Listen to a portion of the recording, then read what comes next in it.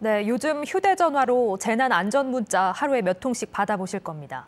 확진자 발생이나 동선 같은 중요한 정보가 전달됩니다만 한 발 늦다, 또 너무 많다, 남발한다 논란도 있는 게 사실입니다.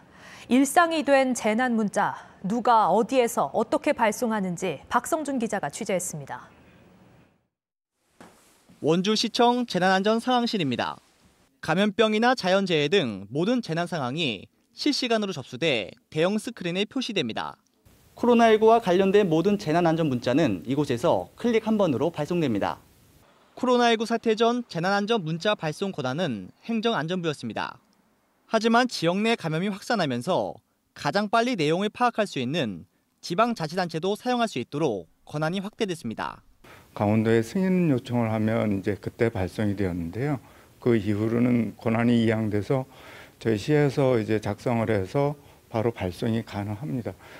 1차로 작성된 재난안전 문자는 결제를 받아 확인을 거친 뒤 이동통신사 기지국을 통해 송출됩니다. 주소지가 아닌 인근 지자체에 재난 문자가 수신되는 이유입니다. 공익 목적이라 별도 비용은 없습니다.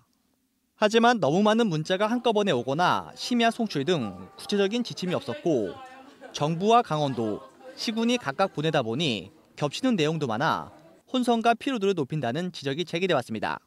너무 무분별하게 오니까 그냥 보지도 않고 막 지워버리게 돼요. 그러니까 하나로 좀 체계적으로 통합이 됐으면 좋겠어요.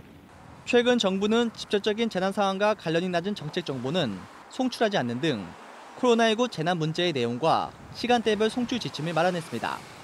지원 뉴스 박성준입니다.